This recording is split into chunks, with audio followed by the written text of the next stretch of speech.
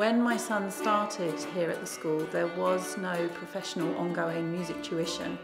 Um, and as a child, I went to a school with loads and loads of music, and it really allowed me to enjoy music and has done for the rest of my life now. And I really wanted that to be available to my son, but to all the children in the school. My name's Matt Clements. I'm a musician. I've got a background of playing everything from little trios, great big samba bands, setting up my own brass band. 14 years we were on the road. Used to work in crowds. I've done a lot of street performance. The energy that you've got in a crowd, in a room, if you're working that, you can you can take that almost anywhere. And drawing people into music, get people playing, making music together in a way that they just didn't think they were capable of doing. Before there were limited opportunities, music specialists would come in for short periods of time. I set up a little arts organisation to allow us to raise money. And to start with, we did quite a lot of concerts raising money, um, and we ended up with this little pot of money. So somebody told me all about Matt. I'm using a format which I've been doing for years. It's called the Big Drum Adventure, and it's been all over Scotland, always different different teachers, different class sizes, different communities. I spoke to the school who were really excited about the possibility of something really substantial happening. Oh, it's so motivational. It just grips them from the minute they come in the door. And that, and that thing about listening, you know, Matt's very good at getting their attention, giving them all sorts of little cues and games and things to listen for. You know, just making a noise, but it's suddenly it's making sense to them.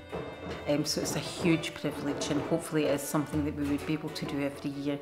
Well here in the Upper Tweed Valley it's really really spread out and I don't think people have quite the access to those kind of shared musical experiences. We managed to get some funding from our local wind farm and Matt is now here for nine weeks the energy in the school in the days when Matt's um, in is just absolutely terrific. You know, that they're all very switched on, right down to the business of making their own drumsticks. Um, they've put the effort into making those.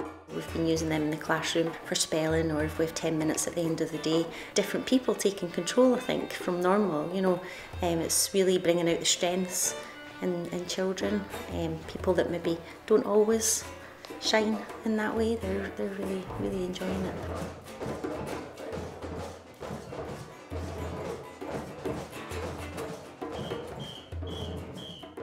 We've also added in some evening sessions for adults and teenagers, so the whole community has got involved. I get parents coming up to me after school's performances. They've seen their kids do amazing things they never expected them capable of doing.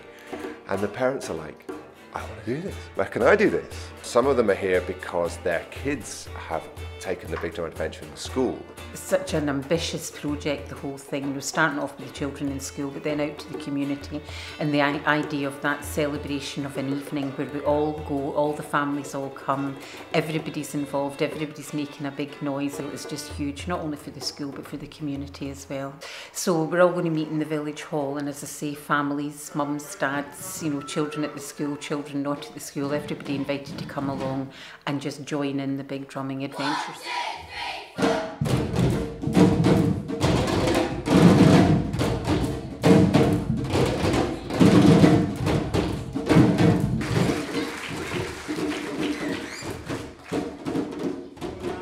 It's a special occasion tonight.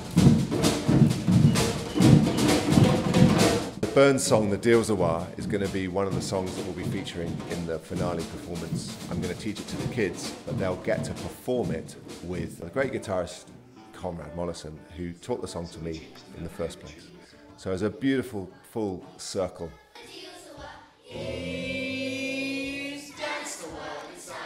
I've spoke to a parent recently who said it's all that her child talks about at the moment is Matt the Hat's drumming sessions.